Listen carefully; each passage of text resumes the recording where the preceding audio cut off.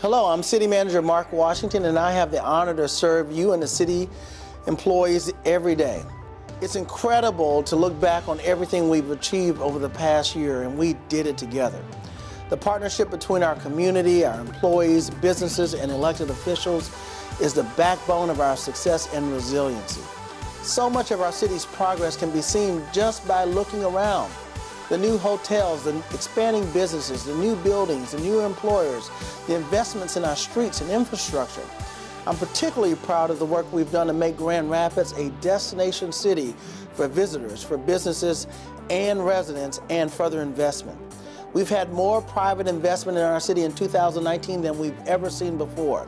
That investment wasn't just in new hotels and office buildings. It included more than 600 new housing units and $42 million invested in areas that are serviced by our corridor improvement authorities. There was public investment too.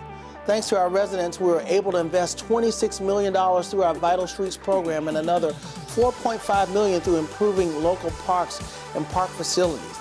We've redoubled our efforts to ensure a sustainable future and focused on our green practices in streets and stormwater projects, ensured that our buildings are energy efficient and partnered with the community to develop new plans to address sustainability and environmental justice. We've adopted new standards for the affirming of the rights of every person who lives in Grand Rapids and how they should be expected to be treated by our public servants. And we've made more measurable commitments to address some of our most persistent challenges, like the things that are evolving around lead and lead in our homes and creating an equitable economic development opportunity for everyone.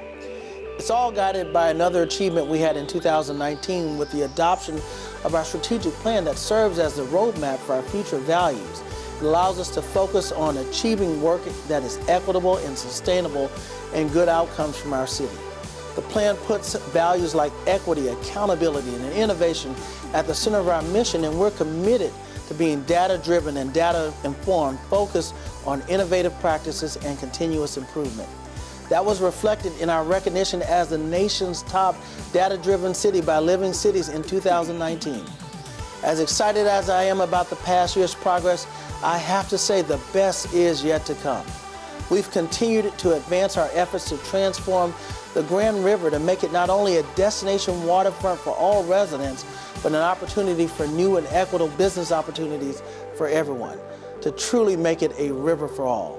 We brought on new expertise and resources to advance a comprehensive strategy like housing, retail recruitment, community police relations, and equitable economic development.